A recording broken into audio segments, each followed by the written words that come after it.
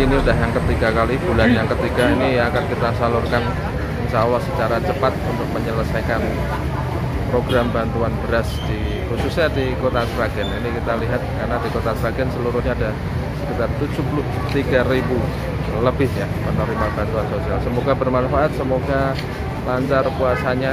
Ini langsung dari kantor pos Sragen dan sudah beberapa kantor cabang juga menyalurkan di hari yang sama. Itu aja tetap semangat puasa lancar